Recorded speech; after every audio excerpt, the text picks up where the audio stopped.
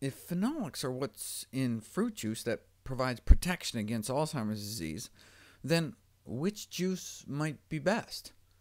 They compared apple juice to cranberry cocktail, grape juice, purple, red, and white, grapefruit juice, orange juice, pineapple juice, and pomegranate. Uh, whenever I show brand names, it's only because they were the actual brands used in the study. Here's the graph. As you can see, one really pulls ahead, though the next five came out pretty respectable, with a couple relative phenolic flops at the end.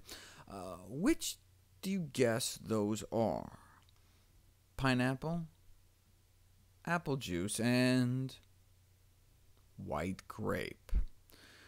Who do you think leads the pack? Six left to choose from.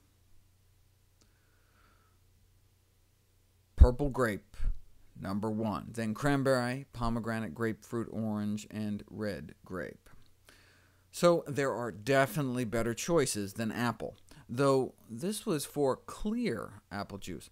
Cloudy apple juice has more, way more, but that's because it's cheating and actually has a little bit of the actual fruit in there, which is what makes it cloudy. So imagine how superior an entire apple would be compared to juice, or even better, a whole pomegranate or Concord grapes themselves. So the best fruit juice is the one inside the whole fruit.